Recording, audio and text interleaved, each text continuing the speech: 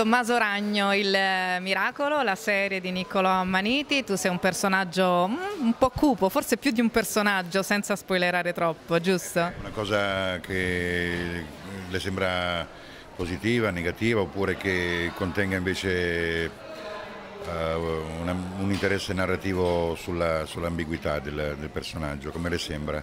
Mi sembra che non è facile sdoppiarsi in due personaggi in uno, o quantomeno in un personaggio con una doppia, chiamiamola così, personalità per semplificare il tutto. Ho risposto bene, sono promossa? No, sono, eh, mi aiuta molto se ne, ne, conversiamo perché se comincia a parlare...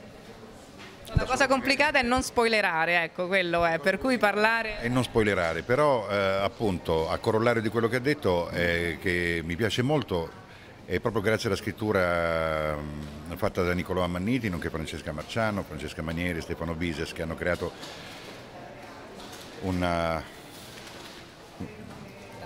un'atmosfera e anche, e anche, una possibilità di stimolare l'immaginazione degli attori per, eh, per, portarli a seguire la loro curiosità impunemente, quello che eh, con questo personaggio mi è stata data la possibilità di fare. Diciamo che si resta un po' male a guardarti all'inizio e poi a metà già della prima puntata si capisce appunto che non sei proprio tu, che Marcello non è una sola persona. No, infatti è un Jekyll e Hyde, ma in realtà questo è vero anche per tutti quanti, forse eh, il Marcello è più evidente all'inizio, poi dopo andando avanti nella, nella serie che non posso eh, raccontare accadono diverse altre cose per cui eh, questi eh, capiamo che sono veri e propri personaggi e non caratteri eh, fissati in una sola maniera, anche perché quello che incontrano nel, nel corso della storia li modifica. E, eh sì, eh, siamo stati in zone molto molto molto lontane da quelle dove abit abitualmente stiamo e questo è il portato maggiore insomma, di, questa, di, questa, vicenda che abbiamo potuto eh, girare. Si parte ovviamente come da titolo da un presunto miracolo, una madonnina di plastica che piange sangue, ma tantissimo sangue, a litri proprio.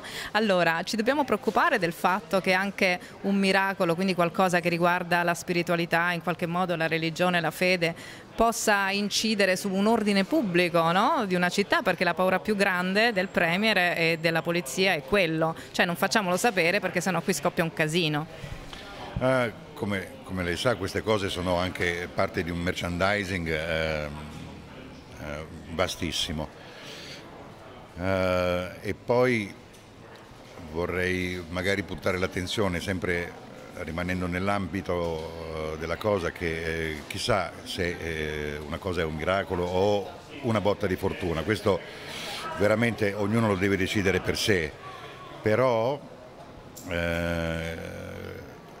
così come è magari miracolosa la guarigione da una, da una malattia mh, mm, terribile, eh, altrettanto non viene ritenuto miracoloso il fatto che questo eh, mm, stato di una malattia sia anch'esso dono di eh, Dio.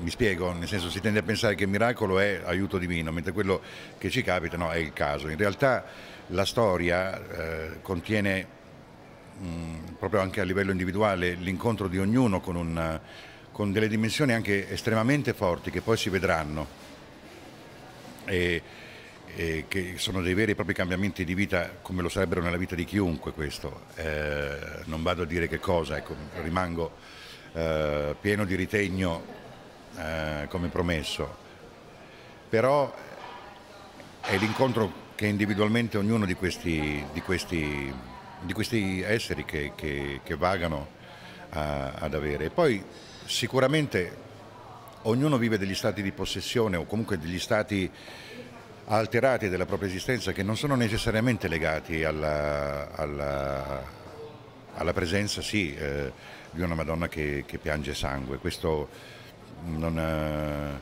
non, è che magari una, come si usa dire, una, una, lente, una lente di ingrandimento, però è fatale fare delle generalizzazioni perché eh, sono cose estremamente personali e per questo anche molto difficili da dire, quindi non può essere che dato uno sguardo da un lato eh, banale, proprio perché la cosa che accade ha un linguaggio completamente diverso da quello che noi abitualmente eh, abbiamo per rapportarci, quindi Faccio l'esempio ancora più banale, insomma, ma come fai a spiegare l'amore? Mi spiego, però accade. Eh, È un miracolo? Eh, sì, si tende a dire quello.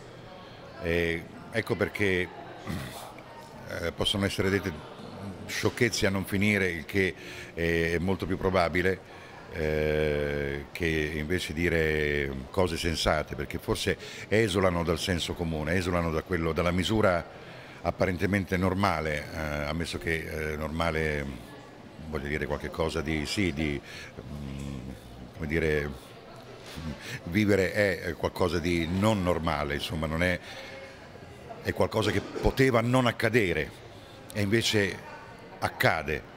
Quindi eh, Amen, ecco. Prossime tue cose, ti rivedremo da qualche altra parte molto presto? Eh, in questo momento ho cominciato, in questo periodo, a, a girare una serie per Netflix che si chiama Baby, eh, diretta da Andrea De Sica. Questo. Quindi ci rivedremo. Penso di sì.